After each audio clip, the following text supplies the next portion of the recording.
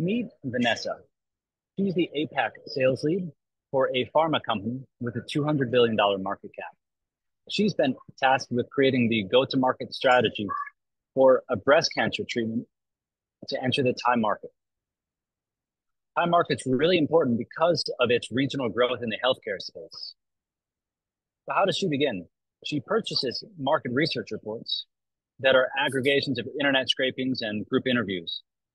Unfortunately, these tend to be out of date, anywhere from one to five years. This does not get her the insights to set their go-to-market strategies. So the next thing she does is she takes her sales team and manually has them speak with medical distributors, go to doctors and interview uh, clinicians, and even attend medical conferences to learn more about how uh, treatments and outcomes are changing. So this whole process cost them six months. They only get 10% coverage and insights in the market. They've spent $50,000 on market research reports and $50,000 on their sales team costs. After all this time, six months and $100,000, Vanessa is still not able to set her go-to-market strategy. If they're unable to make this decision, her company risks running one to three years behind their competitors. We are Sage Health. With us, Vanessa's company gets real-time primary data for the health industry to enter emerging markets.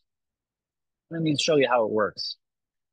Hospital, hospitals, software vendors, and governments partner with us. They trust us to anonymize their data and make it legally compliant so it can be analyzed and commercialized. When Vanessa logs into her accounts, she's able to choose a disease of focus, a specific target geography, and a patient type. Next, she's presented with a dashboard that she's then further able to select variables. Something of interest for her is how her product is doing in the market. Another would be what does the patient uh, demographic and comorbidities look like uh, for their particular patient subtype. She's then presented with a targeted sales opportunity specifically in North Thailand. And here she understands that because of her product's safety profile, they can enter North Thailand and outcompete the market leader in sales. The only other, uh, with this, they go from spending $100,000 every six months to $36,000 for the year. The only other decision is which of our subscription plans they'd like to choose. The global health data market has a huge data gap, and we're set to fill it. Pharma companies traditionally spend $18 billion uh, just in market research understanding per year. What that means is, on average, there are 15,000 products launched across Southeast Asia to the 12 countries. Sage Health is the only player in emerging markets providing real-time primary data let me tell you a little bit about the team. I'm Doug, and I'm the CEO. Uh, I have worked over the past 12 years with uh, 42 federal governments building a nine figure uh, medical supply chain company. I've also been a health expert uh, and worked with governments as well, as well as multilateral organizations. Shannon, our chief business officer, uh, has worked extensively across Southeast Asia, specifically Thailand, on government contracts.